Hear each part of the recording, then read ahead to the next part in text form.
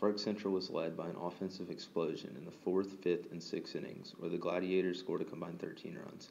Senior shortstop Jacora Arnold led Clarke Central on the day, as he had a home run in the fourth inning and an inside the park home run in the sixth.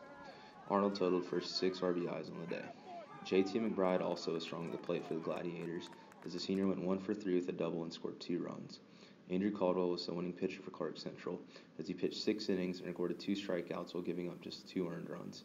Cedar Shoals catcher Alex Weisenbach led the Jaguars at the plate, as a sophomore went two for three with a double and three RBIs that first inning we had a lot of momentum, or we were, we just, I think we came in just excited and ready to play. Mm-hmm. Yeah, and then it just carried on throughout the game. We just, yes, sir.